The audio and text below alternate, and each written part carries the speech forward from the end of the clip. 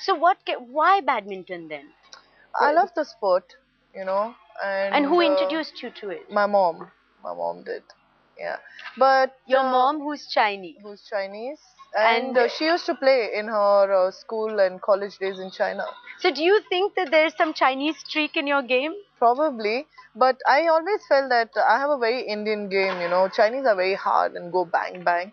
Uh, I'm very soft and deceptive. And because your mother is Chinese and your dad is uh, from Andhra Pradesh, you could have chosen actually to go and play um, for China because obviously the support there is more, you know, you yourself have said that the Chinese respect uh, sports people 10 times more. Why didn't you?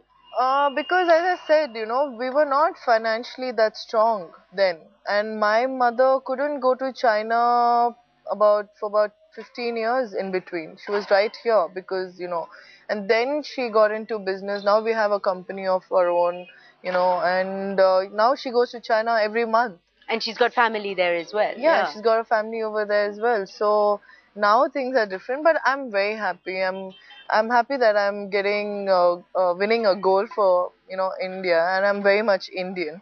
So I'm I'm proud. Well, we're happy to hear that.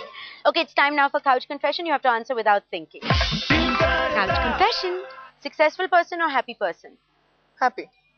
What is the strangest thing you've ever put in your mouth? Uh, wasabi chutney. What Yeah, do you call wasabi, that? just yeah, wasabi, so- yeah. yeah. Fire, And right? she don't like it. Um, which living person do you most admire? My mom. Which living person do you most despise? Too many. no, no, you can't get away with that one. uh, people from my association. yeah. When and where, where were you the happiest? Um, a lot of occasions, but uh, recently Commonwealth Games gold and seeing my parents after I won. So yeah, I was very happy. Well, so was the nation.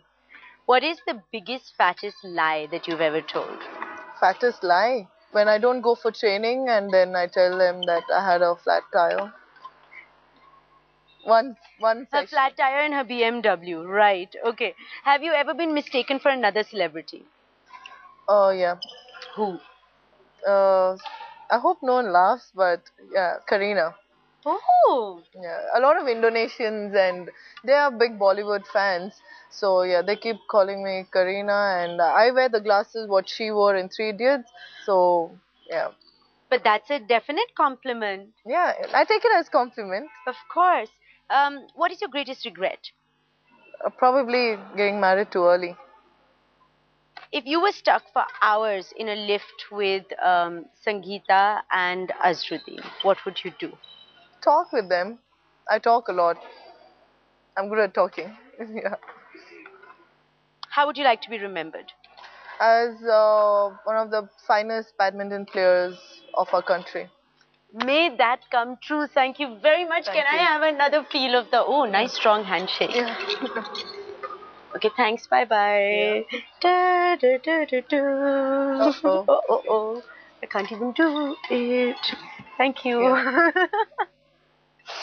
and this one. Bye, Jwala. I'm Bye. taking these home. yeah, sure.